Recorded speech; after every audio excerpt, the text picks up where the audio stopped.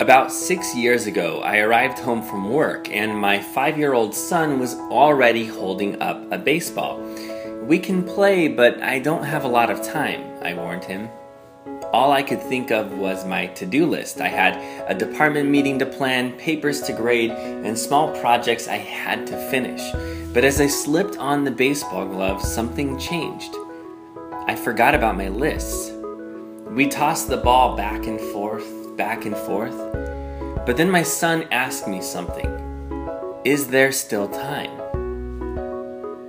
Is there still time? I couldn't answer it. So that night, I broke up with Busy. I quit committees. I limited projects. I set up a curfew for myself at work.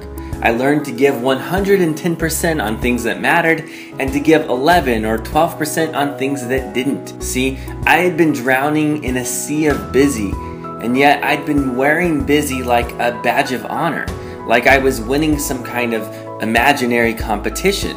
But life isn't a game. Okay, it's actually technically a board game, and I think it might also be a cereal. But here's the thing you don't get a trophy for packing your schedule with more projects and more accomplishments and more meetings. All you get is a bigger load of busy.